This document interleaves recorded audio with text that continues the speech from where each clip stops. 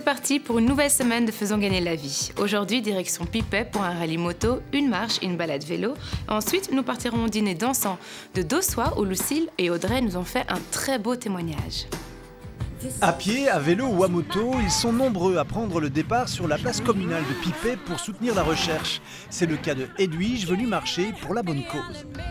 On est chacune euh, plus ou moins euh, touchée euh, de près ou de loin dans la famille, dans les amis. Et donc c'était vraiment l'occasion de leur montrer que nous on est là et qu'on a envie vraiment de faire quelque chose pour eux. Pour ravitailler les marcheurs, Roger est aux commandes, convaincu qu'on peut faire avancer la recherche.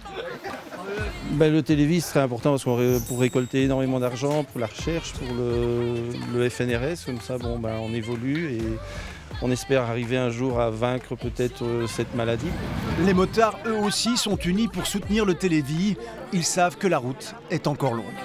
Ma femme a eu euh, le cancer, elle a été guérie. Et puis, bon, à chaque fois qu'il y a une manifestation télévis, on essaie, de, on essaie d'y participer. Vive le télévis Le 28e dîner dansant du comité Télévis des barrages de l'odeur a une nouvelle fois fait salle comble. Au menu, gratin dauphinois et rôti de porc, 120 personnes sont venues soutenir la recherche. Une belle après-midi qui encourage Audrey et Lucille, elles-mêmes touchées par le cancer, à poursuivre le combat.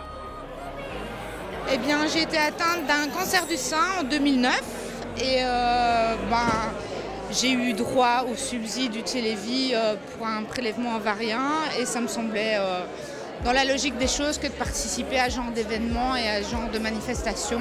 J'ai moi-même été atteinte à cancer il y a 7 ans. J'ai eu la chance justement par les recherches de m'en sortir et je serai toujours là au poste euh, pour aider le télévis. Un dîner dansant très réussi, de quoi donner le sourire à tous les participants. Si vous aussi vous avez été touché par les témoignages d'Audrey et Lucille, eh bien soutenez la recherche en faisant dès maintenant votre don sur le www.télévis.be et suivez toute l'actualité du Télévis sur nos pages Facebook, Twitter et Instagram.